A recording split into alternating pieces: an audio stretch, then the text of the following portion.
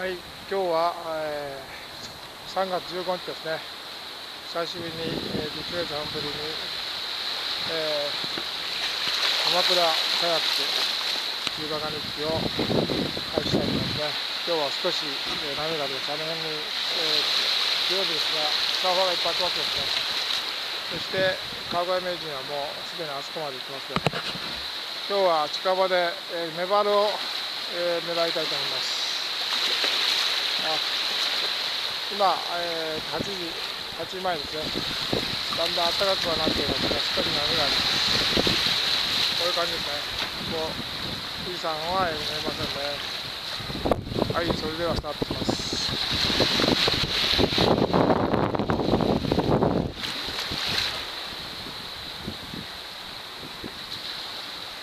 こういう感じですね。